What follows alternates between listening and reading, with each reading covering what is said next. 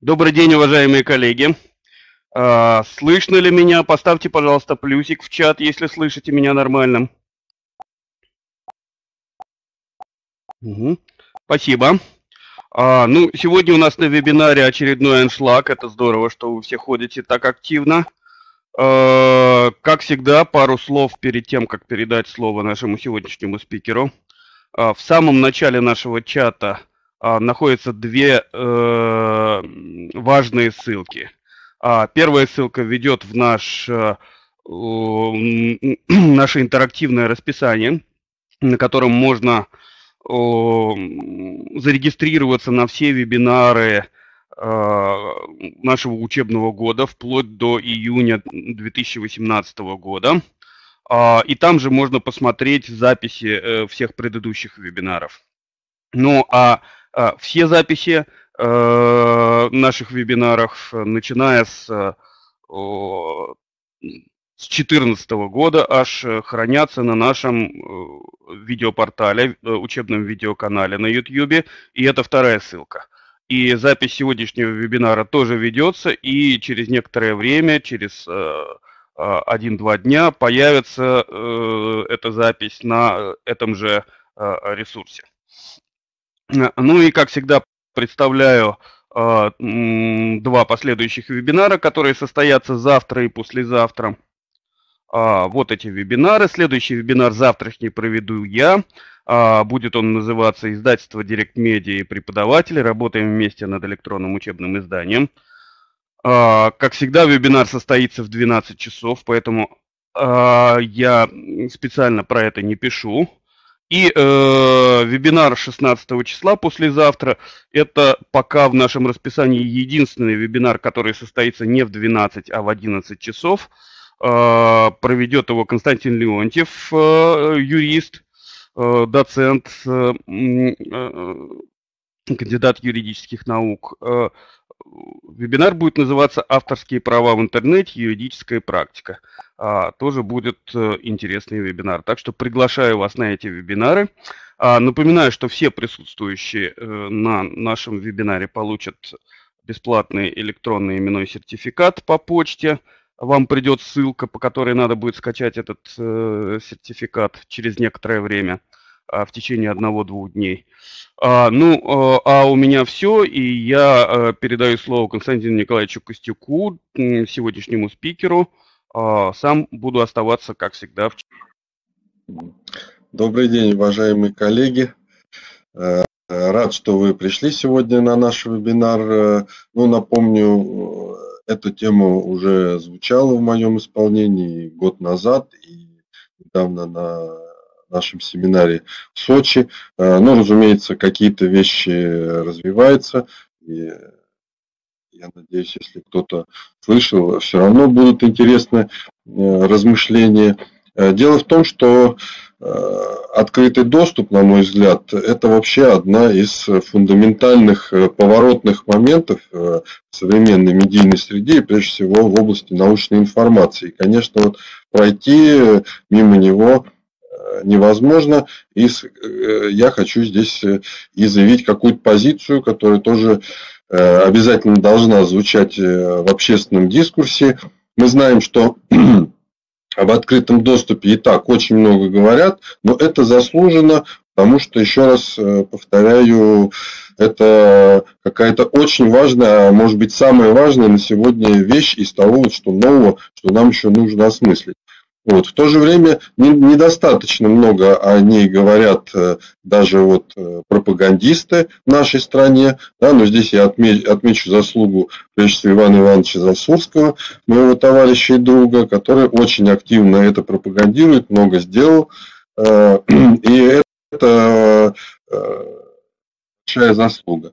Да? Но вот э, баланса, то есть обратного голоса, противовеса э, со стороны издательств, со стороны тех, кто затронут э, вот этим поворотом, вот этот голос слышен очень слабо. Вот и я надеюсь, что я вот своими размышлениями как бы его озвучу и снабжу довольно весомыми аргументами. Вот для начала я хотел бы привести вот такую любопытную статистику и вообще сослаться на феномен киберленинки. Он у нас сегодня будет э, звучать не один раз. И если говорить там общую, характеризовать ситуацию, я бы сказал так, в России в плане открытого доступа очень отсталая страна, да, но у нас есть киберленинг. И киберленинг это, наверное, такой феномен, который тоже удивил бы э, всех, даже те страны, где открытый доступ э, Э, продвинулся намного дальше. Это, так сказать, наш особый путь. Вот, но он очень особый. А вот в данном случае я хочу вот продемонстрировать статистику, собственно, 2013 года. Она уже изменилась, но э, тренд э, и сама расстановка сил примерно такая же. Вот смотрите, как несколько лет назад по посещаемости, по используемости распределялись наши основные ресурсы. Кибер Ленинка, ей тогда было буквально два года, э, уже э, в месяц собирала около трех миллионов посетителей. Как вы видите, больше, чем э, любой другой профильный профессиональный ресурс. Собираем в месяц вообще 9 миллионов просмотров. Абсолютный рекорд, никто даже не стоит рядом. Вот. Разумеется, высокое место по посещаемости в рейтинге Алекса. Вот тысячи, тысячное место среди всех вообще ресурсов э, российского интернета. Вот. При этом э, при достаточно скромном контентном э, содержании. Это 700 журналов, миллион статей. Да, для сравнения, в E-Library уже в то время было чисто российских журналах 3 миллиона статей, а вообще вы знаете, что там безмерное количество материалов, и уж точно в десятки, наверное, раз больше, чем на киберленинке. Вот. При этом э, э, среднемесячная посещаемость, вы видите, в три раза уже тогда была меньше, э, чем у киберленинки. 1 миллион, вот, а место в Алексе примерно такое же. То есть, несмотря на то, что e-library мы знаем, это тоже ключевой научный ресурс, э, связанный с индексом цитирования.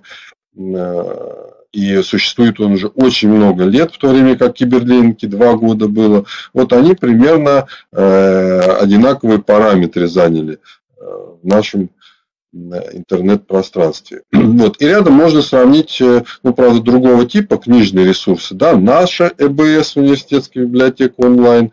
Вот у нас гораздо скромнее показатели. 250 тысяч в месяц, э, просмотров полтора миллиона э, и аж 7-тысячное место в Алексе. Но все-таки это книги, и вы видите, у нас книг не так Э, тоже много, это 100 тысяч книг э, и 500 э, журналов всего. Вот, все равно, конечно, отставание здесь очевидно. Ну и еще один аутсайдер, это наша дорогая национальная электронная библиотека. Вот, она имеет просмотр, ну, тогда имела, сейчас не знаю, просмотров меньше даже, чем мы, а уж в национальном рейтинге она позиционируется на 30-тысячном месте. При том, что э, вот у нее-то по контенту она может считаться одним из э, крупнейших лидеров, э, более полутора миллионов документов. Вот эти все ресурсы выбраны не случайно. Среди них только один ресурс является ресурсом действительно открытого доступа. Это киберленинка. И вы видите, насколько Э, больше к нему интерес, э, больше успех, э, лучше показатели. Вот. А остальные ресурсы EBS, e-library, Национальная электронная библиотека объединяет то, что они не открытые по своему существу, а именно авторский контент находится в них на условиях возмездного пользования. Совершенно разные условия, но тем не менее за них э, все эти ресурсы платят деньги, чего нет э, в киберленинге. Вот что, э, какие выводы напрашиваются из этого сравнения? Успех киберленинги, разумеется, говорит о том, что это проект, который очень органично вписывается в интернет-среду и полностью соответствует ее концепту как свободному информационному пространству. Это то, вот, что любит интернет, что нужно интернету. и, собственно, как, наверное, и должна в нем распространяться информация. Но соответствует ли этот концепт киберлиники открытого доступа более общему концепту и задачами издательского сообщества, а шире вообще потребностям творчески продуктивного расширения и научной информации, и вообще э, нашей цивилизации. Не мешает ли этот подход э, э, научному творчеству? Вот этот вопрос мы и будем сегодня с разных сторон обсуждать. Ну, а провокация здесь тоже налицо. Зачем платить за платные ресурсы, там Elsevier или EBS или eLibrary, если есть бесплатные киберлинки. Многие этот вопрос считают риторическим. Вот, поэтому начнем от Адама и Евы, вообще как это возможно стало и э, где корни открытого доступа стоит искать.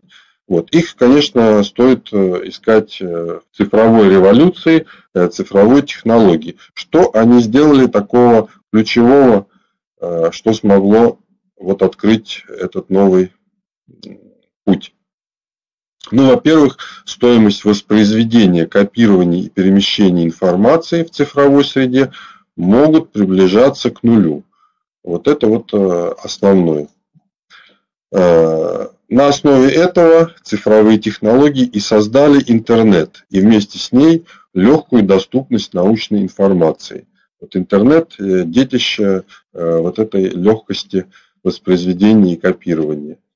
А, сам интернет э, довольно скоро создал викиномику. Это новый тип экономических, можно сказать, обменов, прежде всего информационных обменов, в котором существуют и прекрасно себя чувствуют ресурсы бесплатного доступа, создаваемые за счет коллаборативности, донации, рекламы, ну, прежде всего, за счет такого добровольного вклада и просто э, самоотдачи людей, которые в нем живут. Вот. И вот Creative Commons, э, как такая скрепляющая вот этого подхода, э, бесплатная лицензия, лицензия, которую автор э, разрешает полностью пользоваться результатами его труда, это тоже такой цивилизационный скачок, э, показывающий, э, как много меняется у нас в нашей среде медийной. Вот. Э, ну и вот этот подход Викиномика создает галактику ресурсов Web 2.0. То есть вообще всю область информационного контента создавать, создаваем самостоятельными пользователями, без э, э, издателей э, и без всяких там коммерческих моделей. Вот эта галактика ресурсов Web 2.0 это, по сути дела, ядро, стержень интернета, его свободной миссии. Вот о них немножко подробнее. Ну, мы знаем, что все, что было до этого, до вот этой вот э, революции любое распространение информации, оно у нас зиждилось на Гутенберге, на тех технологиях, э, которые в принципе не дешевые, и материалы тоже не дешевые. Технологии тиражирования, э, типографские мощности, ну, сама бумага, производство бумаги. Вот мы привыкли за эти годы даже столетия, что любая информация, она дорогая уже силу своего материального фактора. Э, вот как только этот материальный фактор э, и барьер, который стоял э, перед многими авторами, людьми, был снят, вот и открылся новый поток. Новый поток и, по сути дела, новое качество общества и общественных коммуникаций. Вот известный такой социолог Э, Джон Блоссом назвал это общество контента. Вот, сошлюсь на него, потому что это очень интересные материалы, схваченные тренды. То есть общество, в котором, по сути дела, каждый может создавать контент и открывать себе творческие потенции. И мы, это уже было сказано там почти 10 лет назад, вот на сегодня имеем целый блок, систематику подобных ресурсов, которые создают сами люди. Ну, во-первых, это видеоресурсы всем известные, YouTube. Да, вы видите тоже, насколько и в такие форматы переходят э, контент, в том числе учебный, и вообще люди начинают жить в этой среде. Вот это э, огромное количество ресурсов, связанных с фотобанками, стоками, э, в том числе и социальными сетями. Это сайты литературного самоиздата, то есть уже такие более профессионально специализированные ресурсы, такие как Amazon, Стихи.ру, самоиздат, где именно авторы публикуют свои книги и бесплатно их распространяют. Вот. Это большой, огромный блок э, разного рода пиратских и полупиратских ресурсов, торренты, варисные библиотеки. Это, разумеется, свободная энциклопедия, как э, Википедия. Э, в данном случае как раз вот абсолютно чистый и безупречный ресурс, да, и столь же э, массовый, привлекающий внимание.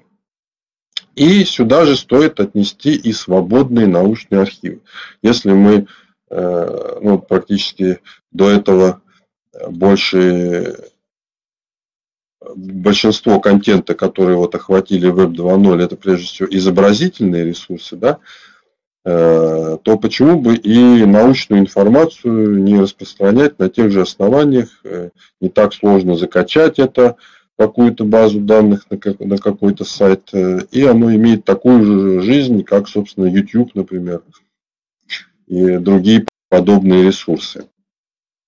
Вот, собственно, при взгляде на этот перечень ресурсов сразу видно, э, что они составляют костяк того, что мы называем интернет. И, наверное, большая часть трафика – это вот именно платформы, которые просто дают э, э, место для человеческого свободного творчества. Вот их Ими пользоваться очень просто. У них практически отсутствуют э, количественные границы хранения информации, и поэтому они как губка вбирают в себя и генерят, генерят э, новые объемы контента. Э, но и все-таки поставим вопрос, соответствует ли вот этот тип и вид ресурсов задачам информационного обеспечения науки? Можно ли этим ограничиться? И, как вы видите, я сразу здесь э, даю практически ответ э, разнонаправленные стрелки. Издательские ресурсы – это все-таки одно направление, а вот все тренды открытого доступа – это направление совсем другого. Э, ну, остановимся в чем преимущество открытого доступа, за счет чего вот происходит такой феноменальный рост, это тоже очень э, понятные вещи. Плюс архивов открытого доступа, то, что первые авторы и ученые могут сами предоставлять доступ к своим публикациям в крупных репозиториях, они больше не зависят ни от какого издателя, ни от каких внешних причин. Вот они туда складывают материал. Э, второе, информация в них э, начинает распространяться без препятствий. Э, и, в принципе, все это способствует свободному распространению информации, развитию общества знаний. Вся информация сразу открыта, доступна любому. Ну и для ученого немаловажно, что при такой вот системе эти ресурсы активнее читаются, лучше индексируются поисковиками и вообще создают более мощный шлейф цитирования, по которому мерится его эффективность. Вот это три слагаемые, которые э, подпитывают э, рост открытого доступа. Вот, то есть э, и читателям это очень выгодно, прежде всего экономически, и авторам для их профессиональной карьеры. А, но теперь зайдем все-таки с другой стороны, с стороны издательской научной деятельности. А вот здесь э, произошли ли такие же радикальные изменения? Что действительно изменилось, а что не изменилось? Первое. Изменилась, как уже было сказано, стоимость распространения научной информации. Она может стремиться к нулю, во всяком случае, несопоставима вот с технологиями Гутенберга. А, а вот если мы зададимся вопросом, изменилась ли структура создания и потребления информации, то, скорее всего, придем к выводу, что она не изменилась. И прежде всего я здесь э, сошлюсь э, на ту модель, которая запущена в конце 17 века издателем Ольденбургом вместе с первым журналом Philosophical Transactions. Недавно праздновали тоже его юбилей. Вот. И э, вот эта модель журнального издания, журнального распространения информации э, получила название «Галактика Ольденбурга». Э, вот вся наша журнально-научная информационная среда, будем называть ее галактикой Ольденбурга. Вот, так вот, изменилось или нет? Ну, первое, создание информационного содержания практически никак не изменилось. Требуются научные исследования и притворить его в какой-то текстовый формат. Э, здесь не сэкономишь. Э, экспертная оценка и выбор статьи, то, что сегодня называется peer review, то есть э, рецензирование статьи для того, чтобы она попала в журнал. Вот здесь, пожалуй, даже больше стало работы, потому что это обязательное требование, и критерии рецензирования становятся все выше и объем такой работы все больше. Э, вот статья выбрана, дальше она упаковывается, информационные сообщения упаковываются в научную статью, в журнал, где помогают редакторы и все остальное. Э, здесь тоже практически мы видим э, минимальные изменения. Вот, наконец, журнал «Статья готова», передача и приемка научного сообщения путем подписки, доступа – и вот здесь вот мы попадаем на цифровую революцию. Да, здесь действительно э, э, поменялось очень много. Вот мы сейчас все пользуемся через интернет, все это гораздо проще. Вот. Дальше сообщение приходит э, к своему целевому адресату, происходит обработка, интеграция полученного сообщения в информационные массивы, то есть включение в фонд библиотек, каталогизация и так далее. А здесь также э, есть изменения, но не настолько они существенны. Э, вот как мы увидели, практически только в одном из этих пунктов э, цифровая революция имеет реальный значимый вес. Вот. А еще заметим, что только в одном из этих пунктов присутствует участие авторов в самом создании информационного содержания. Остальное происходит практически без него. Вот. И если оценить экономику э, создания и потребления информации, то скажем так, что в условиях переизбытка информации стоимость э, фильтрации, э, работы с этим объемом контента, то есть ту, ту, та функция, за которую обычно отвечает издатель и создатель, редактор журнала, это даже возрастает Поэтому здесь экономика никак существенно не меняется. Э, вот. И мы, соответственно, должны различать две информационные экономики, у каждой из которых свои собственные правила. Первую я называю экономика информационных транзакций. К ней, по сути дела, относится вся IT-индустрия, то есть коммуникации, технологии передачи данных, доступа к информации, вот эти все кабеля, условно говоря. Э, вот они э, имеют свои правила, и там действительно считается э, не так, как раньше. Вот. А вторая экономика – это экономика создания информации, которая включает в себя издательские процессы, хранение информации, обработка их, упаковка и во многом прежде всего связано с работой библиотеки. Вот. И вот если мы сопоставим эти две экономики, то понятно, что у информационного транспорта, первое, и информационного творчества совершенно разные темпы и потенциалы развития. Творчество остается человеческим, оно не может так э, трансформироваться, не может оцифроваться. Я думаю, что искусственный интеллект э, ну уж никогда не будет, э, не научится писать статьи. Вот, поэтому революция в одной экономике совершенно не порождает революцию в другой. И даже более того, вот эти разные темпы э, порождают э, некое напряжение друг с другом и некий конфликт, в котором мы и, и оказались. Вот. И обращу внимание, не стоит путать упрощение и снижение качества научных публикаций ради количества с информационной революцией. Вот это, к сожалению, одно из э, негативных последствий вот этих изменений. Э, вот. И э, следующий вопрос, э, который мы должны перед собой поставить, в открытом доступе. Какая информация нам нужна? Какой информации мы ищем доступ? Любой или определенный? Вот. И здесь я вас бы призвал задуматься о следующем феномене. Может ли существовать отдельная научная статья? Вот просто существовать в одиночку?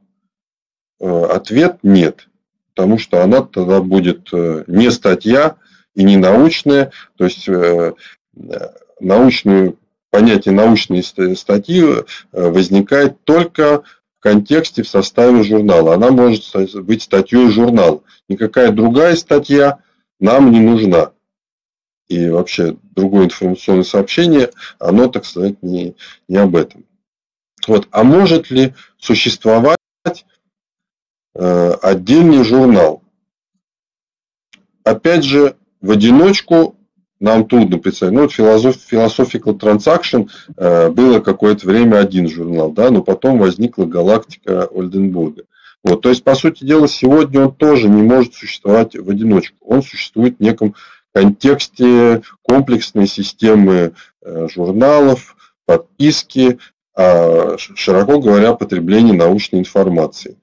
Вот. И мы приходим э, к э, простому выводу, что не может существовать отдельной звезды вне системы звездной галактики. Одно э, абсолютно связано с другим.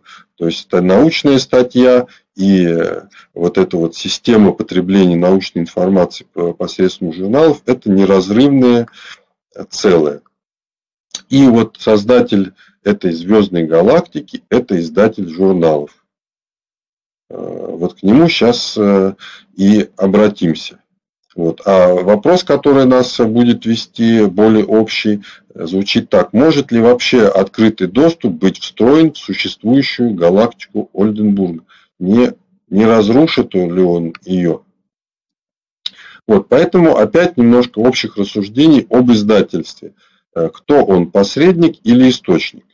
Э, вот как-то считается как аксиома, что он э, посредник, и в принципе, если от него избавиться, то это очень хорошо. Вот пробежимся по его функциям. Значит, что делает издательство? Первое, создает продукт, в который приходит как в гости некий автор. И тематика, профиль журнала – это все работа долговременной, долгосрочной работы издателя. Э, дальше он э, производит фильтрацию, выбор из множества предложений э, и таким образом постепенно повышает качество журнала. Вот. Наконец, он обрабатывает сообщение до информационного продукта интересного качеством, Э, сделав журнал, он предпринимает маркетинговые и логистические усилия для донесения информации до, до рынка, э, брендирования, продвижения и так далее. Вот. И, наконец, тоже не, не, не последнее, вознаграждение труда всех участников, от автора до дистрибутора. Все вот в этой цепочке получают по своим трудам. Вот если мы видим эту обойму, задач, то сразу очевидно, что издатель здесь абсолютно не посредник. Он продюсер, с которым связано создание журнала, он вообще центр процесса публикации. И если, скажем, убрать его, то разрушится вот эта вся канва, вся структура, возникнет не свободный поток публикаций, как нам хотелось бы, а безбрежный, шумный информационный поток хаоса, энтропии. Э, вот. А вот эти вот э, пять э, звеньев составляют инфраструктуру научной информации, и по сути своей они являются бизнес-процессом и по-настоящему мыслятся только в контексте рыночных условий, что очень важно. Вот, вот этот вот рыночный процесс, кто участвует в нем, вот здесь в виде этой цепочки отражен, да, кто участвует в создании журнала, кто к нему причастен. Здесь и учредитель, и инвестор, который вкладывает деньги, и правообладатель, который имеет э, там, на это право, и издатель, который занимается непосредственно контентом, редакция, э, которая все подготавливает, дистрибутор, который распространяет. Э, вот это вот цепочка всех, э, кто вовлечен. И, э, э, разумеется, мы не можем просто так повернуть эту цепочку и спокойно погрузить в другой контекст, например, в контекст открытого доступа или еще какой-то. Вот. Эта цепочка основана на экономических транзакциях и э, прежде всего на некоторых основных источниках финансирования. Вот какие у научных журналов могут быть источники финансирования? Значит, первое традиционное – это подписчик-покупатель, как и у любого товара. Ну, на это, это у нас э, подписные платные журналы, сразу понятно.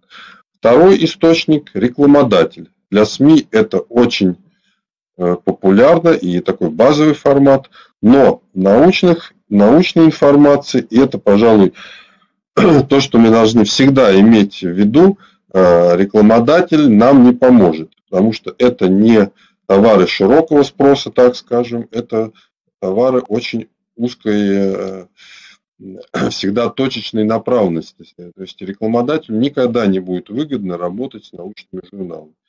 И это, по сути дела, обрезает очень многое. Дальше э, источником финансирования может быть автор, если он платит за свою публикацию, и может быть научный институт, фонд, университет э, и прочее. То есть а, организация, которая заинтересована в том, чтобы э, журнал выходил. Вот. Наконец, из последних источников краудфандинг, донации, добровольные всякие пожертвования, это в интернете тоже распространено. Вот, пожалуй, все перечислили, где нам искать денег. Какой бы ни был э, дешевый процесс создания журнала, он требует финансовые модели, подпитки и должен э, с каким-то источником быть связан. Э, и вот если мы задумаемся, то следующее положение будет нам тоже абсолютно тривиально понятно. Какой источник финансирования финансирует журнал – такой продукт и получает, э, получается в результате. Если спрос будет определять автор, то это будет рынок автора. И в нем будет зависеть, э, мы будем получать те журналы, э, которые финансирует автор. Автор сам считает, что он должен опубликовать. От нас это практически от потребителей. Это уже не зависит. И вот особенно важно, что вот, э, в России очень сильный институциональный издатель, э, ну, прежде всего, университеты. Вот. И здесь, опять-таки, это уже мы переносимся в другой рынок, э, там, где доминируют вузы, университеты. Это уже рынок институтов, опять-таки, совершенно другой. И для институтов критерий совершенно другой, чем для традиционного журнального рынка. Это вопросы рейтинга, престижа и так далее. Об этом мы скажем. Э, в общем, очевидно, что если мы отказываемся от традиционной модели, где подписчик-покупатель определял весь рынок, то мы получим и другой рынок, и другой продукт. и определять его будут за нас. Вот. А вообще говоря, ясно, что все равно какой-то рынок будут, потому что научные журналы не могут существовать в пространстве, которое является не рыночным и не конкурентным. Сама журнальная среда ну, и научная информация, она плюралистична, э, многообразна, высококонкурентна, и, соответственно, это полностью органично вписывается э, именно в концепцию рынка, э, который и регулирует плюралистические среды спроса и предложения. Вот. А теперь еще об одном аспекте вот того разделения, которое мы наметили издательского контента и общего доступа классическое разделение понятий общего блага и частной инициативы. Вот они здесь обозначаются как К, К и К.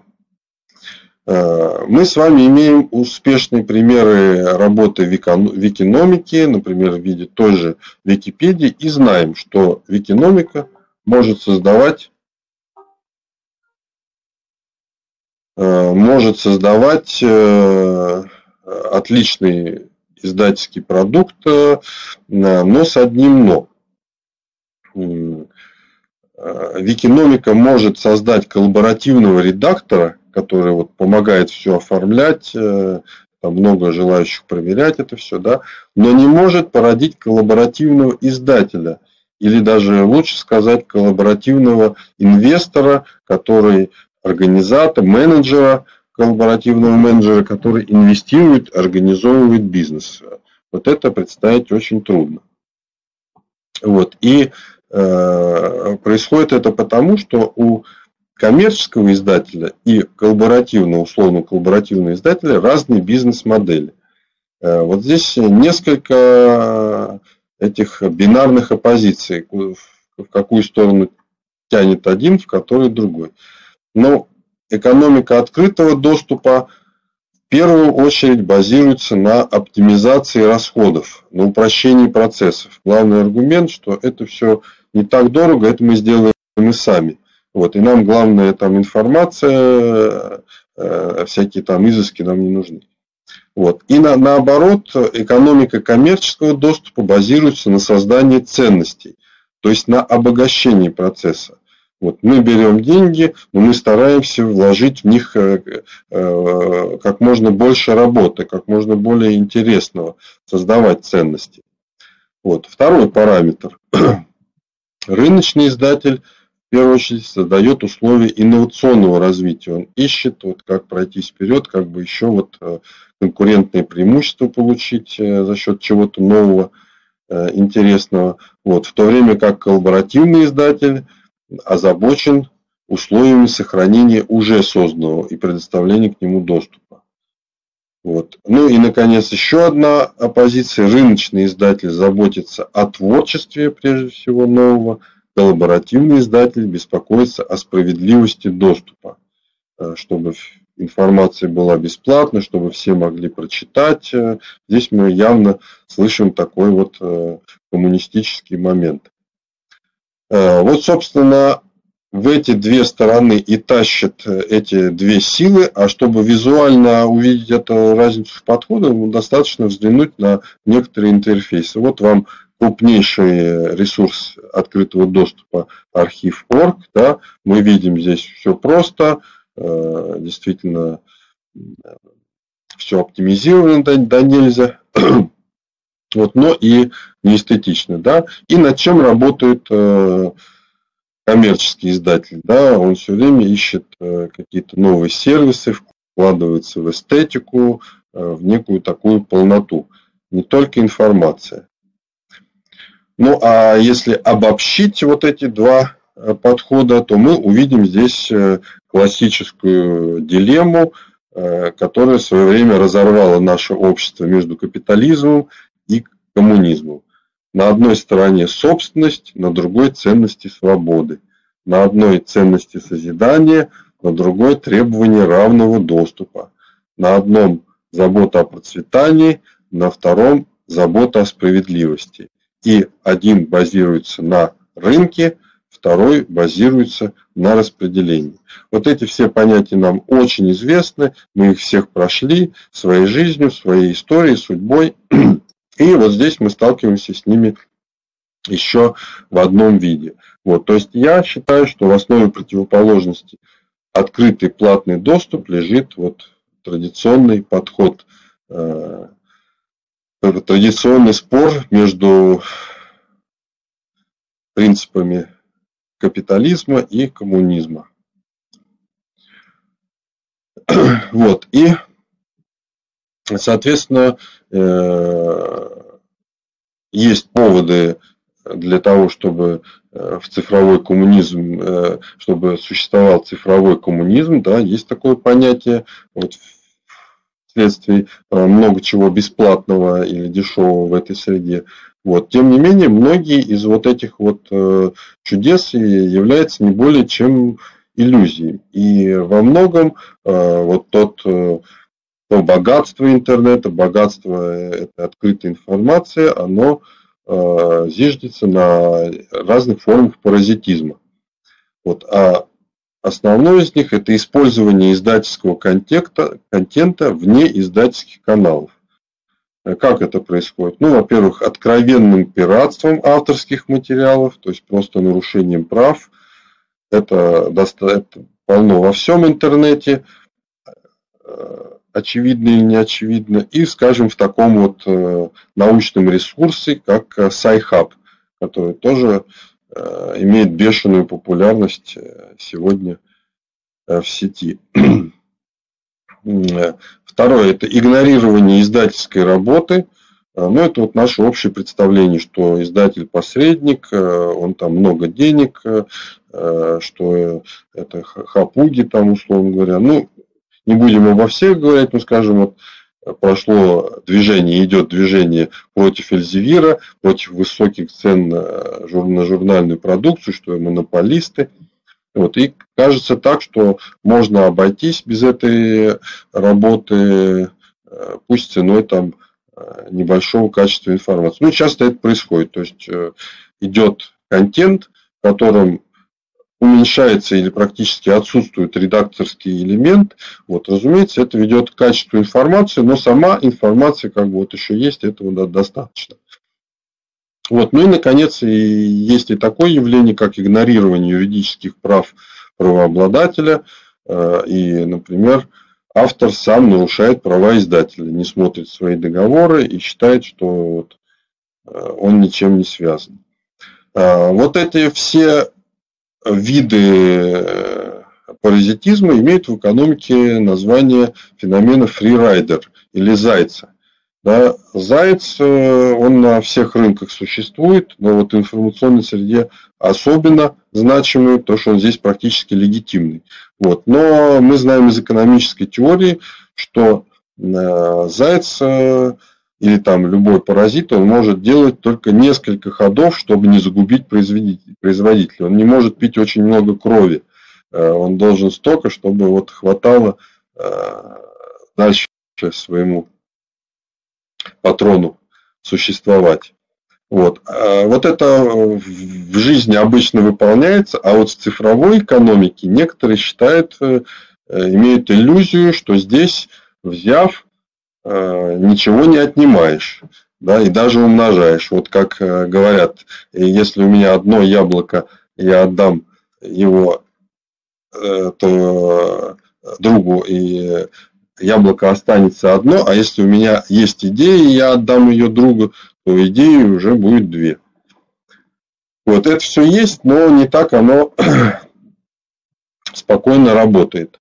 Вот. И самое главное, нужно понимать, мы не можем изъять информацию из экономики капитализма, раз уж мы в нем существуем.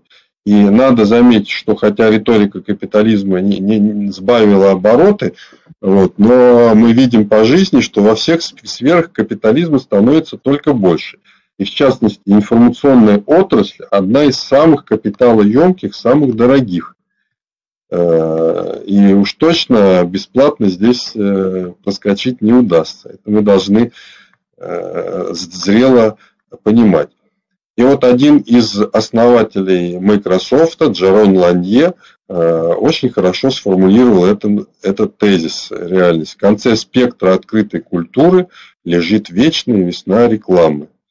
То есть интернет, по сути дела, ничего нового не придумал, он использует рекламный продукт. Вспомним Google, э, главная крупная компания мира, она поднялась и встала именно тогда, когда научилась э, Э, использовать поиск за счет рекламы. И все, все, все их богатство за счет контекстной и других видов рекламы.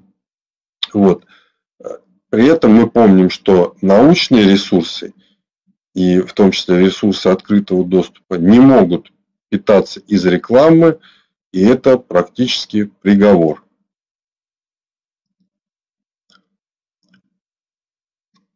Вот, поэтому, если быть честно, давайте определим границы открытого доступа. Э, первое, в чем, я думаю, все согласятся, что, как правило, открытые ресурсы и вообще продукты Web 2.0 хороши именно тогда, когда имеют доступ к источникам готового контента. Это так называемые перепосты, прежде всего издательского контента. Э, и большая часть, э, объем э, вот всего трафика, это некий созданный профессионалами, то есть, то есть издатели контента, который вот начинает такое свободное движение. Вот если же наполнять эти каналы только самодеятельным контентом, получается сам издат. И многие ресурсы, как только они вот только сам издатом начинают пользоваться, они зашумляются, становятся неинтересными, такими самопальными и даже умирают. Э, поэтому и в науке, пока открытые ресурсы формируются из статей качественных журналов, высокорейтинговых, их информационная ценность питается качеством коммерческого продукта. Это работоспособно. Вот, если только убрать сразу э, весь этот блеск померкнет. Вот. И если уж говорить об открытом доступе, то это, конечно, должен быть чистый, а не паразитически открытый доступ. То есть реально созданный авторами и отданный им, ими э, по доброй воле. Но есть и большой объем контента, который э, с точки зрения цифровой революции действительно изменил свой статус и не должен появляться в платном доступе. Здесь я абсолютно согласен э, с, с Иваном э, Засурским. Например, сиротская старая литература, да, которая формально подпадает под авторские права, но по сути научная информация, она не имеет вот такой сугубой коммерческой природе и защищаться так же, как вот Э, защищают э, ну, как, как, как, как какую-то топовую Диснейленд, Дисней или еще что-то такое, защищать не имеет смысла. Поэтому сиротская литература э, должна попасть в открытый доступ. Сам издатовская, в том числе научная авторская литература, она само собой имеет здесь пристанище в открытом доступе. Ну и, наконец, сюда можно отнести публично-демонстрационную литературу. Это рекламная, служебная, ну, то, что создается, например, по заказу университетов, вот если он готов, это то, что служит продвижению. Вот это категории, которые их производители сами э, готовы и не против того, чтобы это было в открытом доступе. Вот. А теперь посмотрим, что же у нас с киберленингой. Вот не, не, все эти три э, элемента, конечно, сюда не подходят. И вообще скажем сразу, что киберленинка не является классическим проектом открытого доступа. Это издательский проект бесплатного доступа. Вот. если вы посмотрите, ну, наверное, многие уже заметили, это прежде всего контент вузовских издательств, Э, журналы, которые они субсидируют и которым важнее иметь продвижение этих журналов, их рейтинги, чем финансовую окупаемость. По сути дела, вот эти издатели, То есть институты и вузы, они находятся вне рынка именно научной информации, а стремятся повысить свои рейтинги таким способом. Ну, аналоги этого есть и на Западе. Вот Биомед Централ точно так же субсидируется институтами. Вот вторая, э, почему именно у нас Киберлейникова возникла, э, потому что это российский журнальный рынок, в котором вузовский издатель доминирует над частным. Это тоже наша особенность. Э, частный издатель журналов становится все слабее, а вузовский набирает силу. Вот. И это проект особой российской среды, в которой обычно никто, то есть автор, не спрашивает э, о правах и разрешении у редакции на какой-то там перепост своей статьи. Этим не заморачиваются. Вот. Ну и, наконец, это прекрасный рекламный проект, который популяризирует и облегчает доступ к научной информации, э, удобство пользования и так далее, но снижает рыночный потенциал рынка научной информации. Вот, то есть э, вот в данном случае институты, университеты прежде всего, объединились с несколько чужеродным интересом, вошли на рынок журнальной продукции, добились там высот и создали вот такой вот уникальный, э, в целом, безусловно, интересный проект. Э, но, тем не менее, если глядеть в, корни, в корень, то киберлиника будет помогать именно вузам. Она будет способствовать формированию рынка институтов, а не рынку научной информации. А вот что такое рынок институтов и чем руководствуются вот издатели вот этих журналов, э, мы сейчас остановимся на, на пару минут. Вот, во-первых, обратим внимание на то, что на Западе широко не практикуется создание вузовских журналов. То есть очень редко, когда вузы имеют свои журналы, как правило, вот все вот эти вот э, журналы, лидеры, это или коммерческие продукты, или даже открытые э, продукты. Ну, сейчас, конечно, больше стало э, и таких вот э, институциональных, но все равно в сравнении с Россией это маленький сегмент. Вот, а вообще мы должны понимать, что рынок вузов, он базируется совершенно на ином рыночном интересе, на предоставлении образовательных услуг. Он привлекает население, чтобы давать им образование, и там своя очень острая конкуренция, очень важны рейтинги, которые влияют на то, сколько, как, какую ценность имеет ваш образовательный продукт. Вот, большие, огромные деньги, несопоставимые с рынком научной информации. Ну, он состоит бюджет на образование, расходы населения. То есть это э, целые проценты, э, несколько процентов от э, всего валового продукта. Размах абсолютно иной, другие порядки цифр. Э, вот. И вот в борьбе за этот рынок э, рейтинг институтов э, возникает борьба за квалификацию вузов, которая складывается из многих факторов. Это и качество услуги, и репутация, престижность, научные исследования, в том числе и ценность журнала. Вот в совокупности все эти факторы сложились в так называемые международные рейтинги, которые стали править, править бал. Рейтинг, по сути дела, это мерило рыночной ценности э, университетов. Поэтому э, недаром наша страна тоже быстро ощутила это и включились в борьбу за эти рейтинги, проект 5100, э, и основные деньги идут на борьбу за рейтинги. Вот. В этих рейтингах есть э, показатели, связанные с э, научной цитируемостью, научной активностью, э, публикационной ценностью вот, деятельности этих журналов.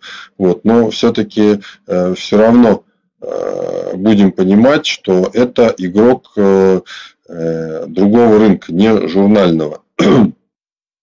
И если он приходит, если игрок из другого большого рынка приходит вот на наш большой, небольшой и специфичный рынок, ясно, что он там вливает, условно говоря, левые деньги, рынок начинает работать неправильно, и по сути даже если вот сам ВУЗ э, инвестирует в создание журналов, по которому определяется его ценность, его рейтинг, э, то это ну, некого рода мошен, мошенничество, самоприменимость. Он разрушает даже рынок свой, э, свой рынок формирования рейтингов. В масштабах страны, там нашей российской страны, которая никак не влияет на международное, это можно, да, мы не испортим международную систему, но для нас самих это очень нездорово. Вот, так что э, вывод такой, что научные журналы это не профильный вид деятельности для университетов, и вот их воздействие э, на наш журнальный рынок э, будет искажать последний и мешать работать э, таким честным научным издателем, так скажем.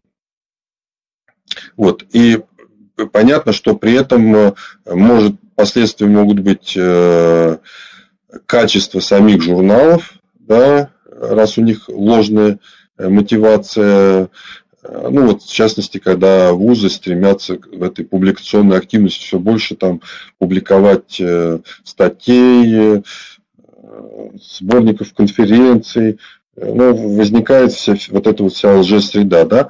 Но есть и Другие, конечно, э, за счет субсидирования, наоборот, э, именно университетам получается создать э, наиболее качественные журналы. У нас тут много хороших примеров. Журналы там МГУ, Томского университета, кого угодно. Вот.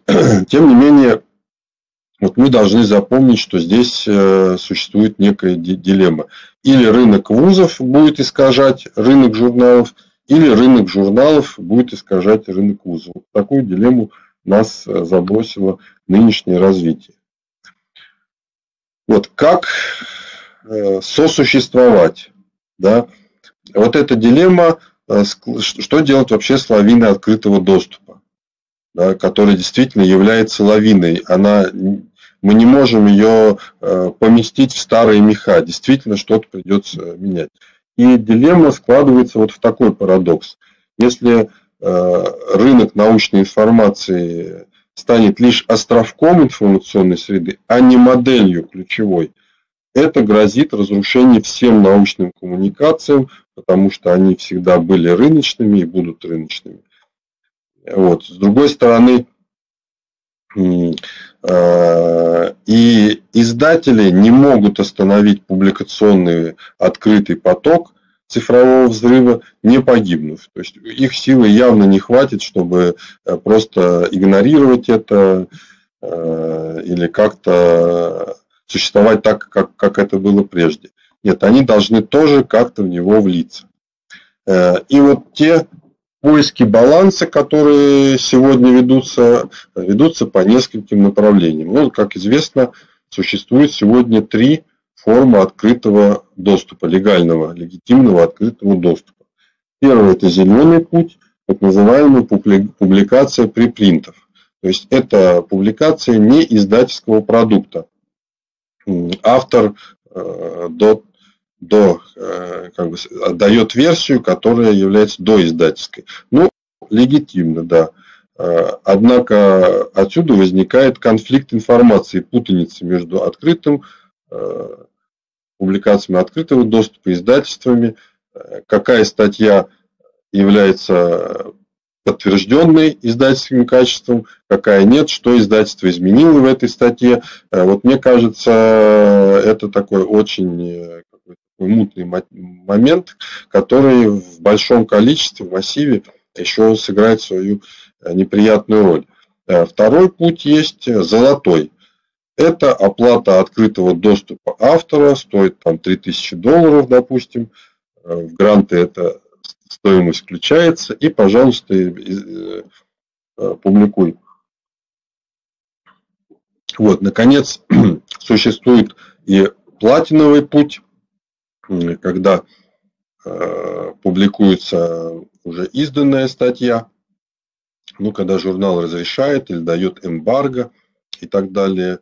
Э, вот, в целом это тоже легитимно как бы с разрешения издательства, но, разумеется, в итоге контроль издательства над доступом понижается, и опять-таки рынок немножко путается, что ведет э, частично к разрушению подписного рынка. Ну, например, мы знаем, что у одного и того же издательства есть журнал открытого доступа, закрытого доступа. В одном журнале есть статьи открытого доступа, другие закрытого. Ну, разумеется, это какая-то путаница отсюда неизбежна. Вот, и в целом, конечно, издатели включаются постепенно в открытый доступ, но, как правило, э, очень неохотно, и цель э, не столько достижения баланса, сколько получения компенсации. То есть за счет открытого доступа как-то немножко повысить свои импакт-факторы. Э, это повысить бонус от свободного доступа к информации. Да, он теряет, может быть, в деньгах, но получает в признании, читабельности продвижения бренда. Вот на, этой, вот на этих э, таких достаточно шатких моделях э, как-то э, сегодня зиждется, ну, развивается открытый доступ во взаимодействии с издателями. Вот. При этом я хотел бы на один э, тезис обратить внимание, который вот в дискуссии об открытом доступе звучит постоянно, на мой взгляд, э, очень несправедливо.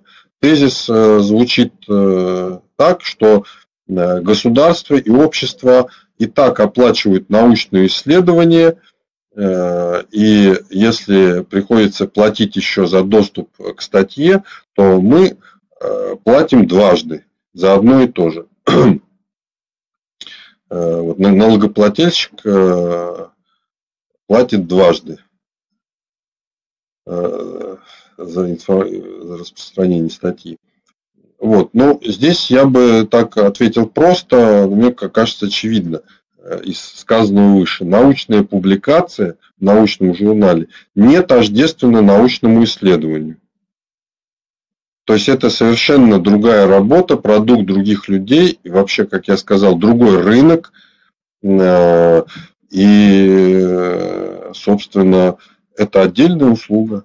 Ничего здесь, э, ничего дважды не возникает. Вот. В, в то же время, вот если за эту услугу происходит оплата автором или институтом, или фондом, то это является адекватной компенсацией для публикации в открытом доступе. Издателя, в принципе, это устраивает. И вот золотой путь, по которому как бы, автор выкупает свое право на открытый доступ. Он хоть и дорогой, да, как считается, э, но вот он не ущемляет прав издательства, он абсолютно легитимный, он не разрушает информационный рынок, но им, разумеется, не достигает то, что хотели ввести. Э, в нем не возникает никакого бесплатного э, доступа, да, никакой экономии не возникает. 3000 за статью общество все равно платит. Вот, то есть здесь все остаются при своих, э, и открытый доступ, э, собственно, э, ничего нового не дает. Поэтому все равно денег остается столько же, сколько и было, и революция это не создаст. Ну и в частности, вот именно поэтому я считаю, в России золотой путь практически не применяется. Никто не приходит к издателю выкупать свои статьи, кроме некоторых случаев. Э, вот, собственно, о балансе некотором мы поговорили, и хотел бы немножко сказать и э, о еще новых возможностях, которые здесь появляются. Практически до сих пор, пока мы говорили, мы имели в виду журнальный рынок, потому что это основной рынок научной информации, но мы знаем, что существует столь же крупный книжный рынок, Э, рынок э, других видов публикаций. Вот. И проблема открытого доступа актуальна уже и для этих рынок. Ну, в частности, э, очень широко дискутируется проблема открытого доступа для монографий. И есть такое движение, хотя оно несомненно, более скромно. Вот, ну и главное, что мы хотим вот здесь сказать, что вот конфликт, он не неизбежен. Цифровые платформы создают условия, которые равно удобны как для коммерческого контента, так и для некоммерческой. В частности, электронно-библиотечной системы, и вот тот, тот подход, который представляем мы, он как раз призван этот э, баланс э, соединить, э, решить без конфликта.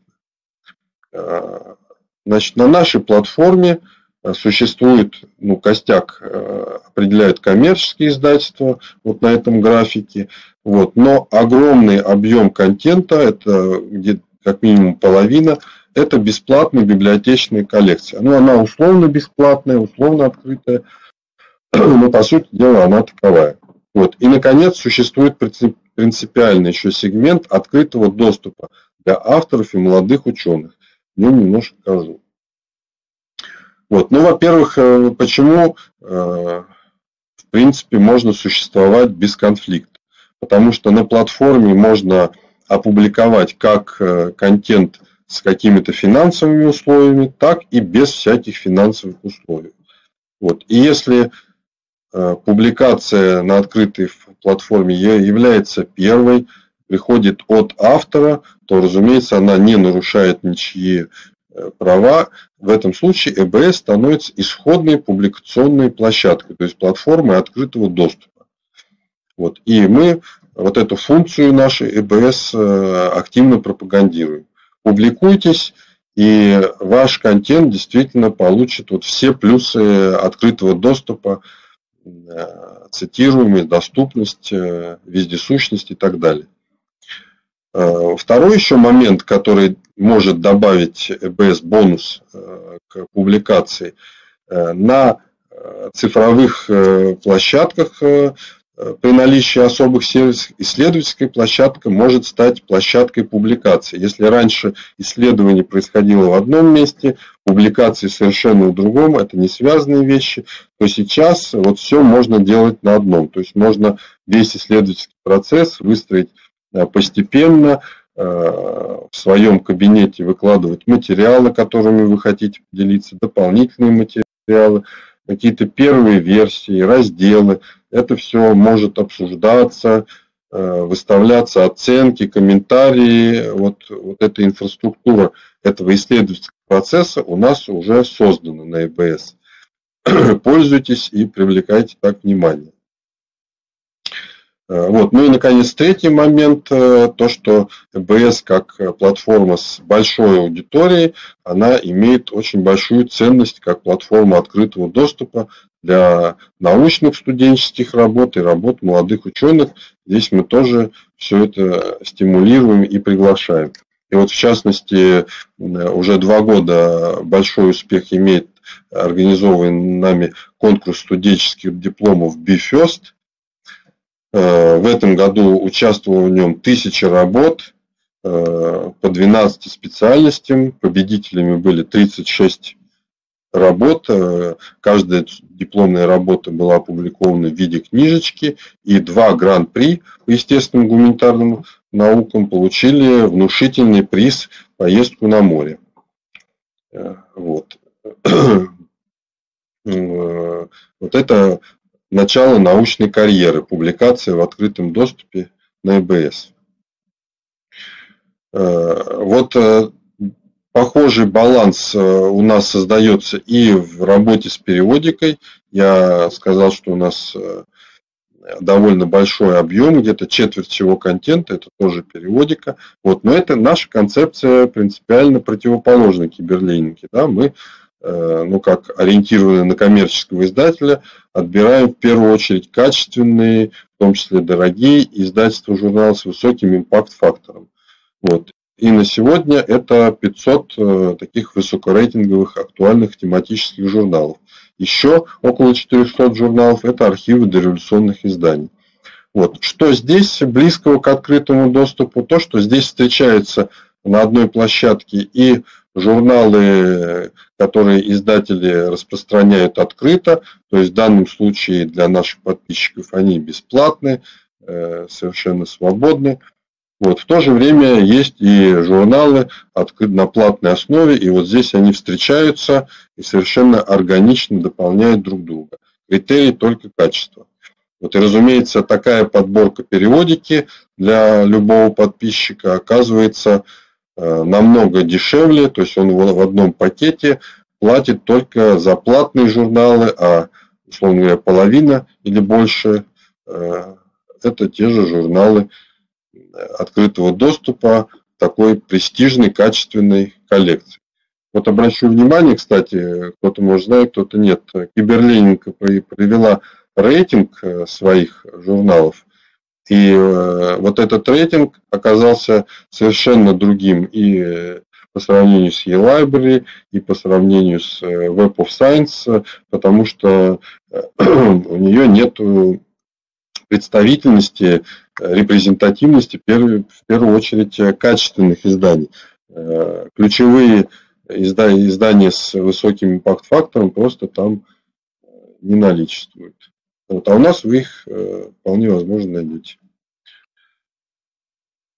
Вот, ну, собственно, э, я уже подошел к концу э, с основными тезисами. Итак, э, открытый доступ как ящик Пандера. Открыть или закрыть. Вот. Первое. Модель Ольденбурга создала информационный рынок, и пока нет никаких предпосылок, что, чтобы его, от него отказаться. Поэтому его нужно э, сохранять и об этом беспокоиться. А избыток информации, который вызван цифровой революцией, этот рынок э, разрушает, во всяком случае несет для него серьезную угрозу, э, в том числе в виде открытого доступа. И вот если не будет соблюдена правильная мера, то модель открытого доступа вообще может разрушить, разрушить рынок научной информации – нам это надо иметь в виду и э, как-то э, это, до этого не, не доводить дело. Вот, зато переизбыток информации создает новый интерес к качественной информации и вместе с этим не классический рынок. То есть, несмотря на открытый доступ, именно благодаря э, вот тому переизбытку, который он создал, возникает запрос на более качественные фильтры э, на более высокую э, технологии отбора качественного контента, на которых и будет э, зиждиться не классический рынок, который немножко будет отличаться от классического. Вот. Ну что ж, вот так я и подвел к своему ключевому выводу. Сегодня требуется симбиоз и гармония открытого и платного доступа. Одна модель не должна разрушать другую. Ребята, давайте жить дружно.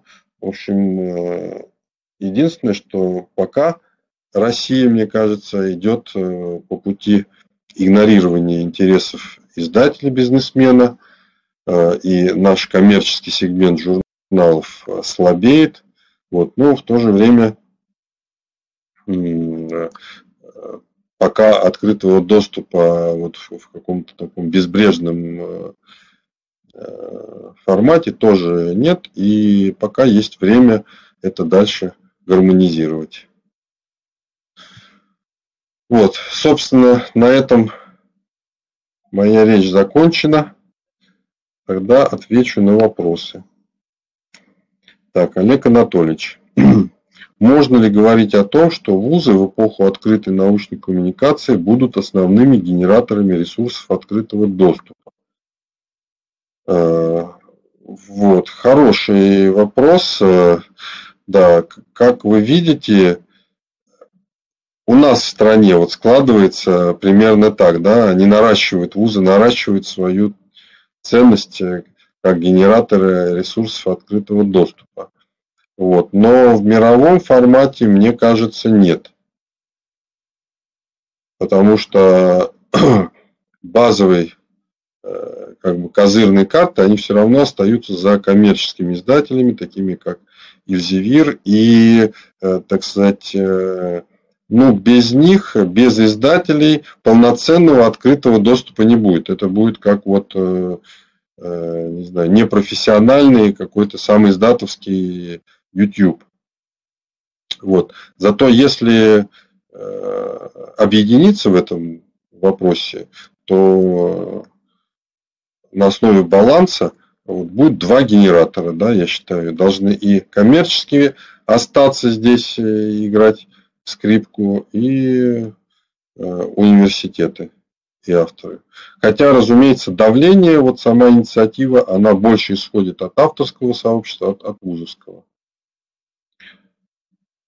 Так.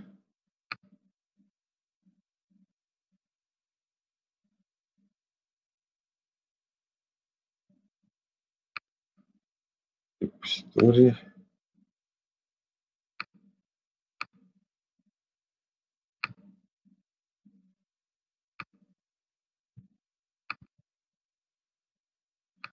Так, вот э, тоже э, реплика. Неоднозначное сравнение киберлинка, который по своей сути объединяет ресурсы, находящиеся в открытом доступе на сайтах самих издательств, с ЭБС-ками, отражающими в большинстве книжную продукцию, издаваемую минимальной экземплярности. Ну, в принципе, я даже и не сравниваю сильно э, Киберлинк и ЭБС. Это, наверное, вы к первому нашему слайду, да? там сравниваются все-таки ресурсы открытые и ресурсы, где э, и платные, где происходит возмещение э, авторского контента. А так, конечно, да, так, конечно, это точно на противоположных полюсах Киберленинг и ЕБС. Вот, ну что ж, да, постараемся жить дружно. Вот. Ну, я скажу, что действительно профессиональное сообщество очень хорошо понимает, вот если я свое как бы, мнение, если э, когда вот волна начиналась, э, то вот лозунг «все бесплатно, э, все доступно», он как-то всех окрылял, прежде всего библиотекарей, вот, то вот у нас был на последней конференции на Икона очень серьезный разговор, и там как раз со стороны вузовского сообщества прозвучали вот такие ограничения, что это все сказки, и вот так просто оно не будет. Э, ниоткуда не возьмется качественный контент э, и хорошая информационная среда. Вот так что действительно давайте дружить, искать компромиссы и э, учитывать интересы всех творческих людей, в том числе и авторов, и издателей.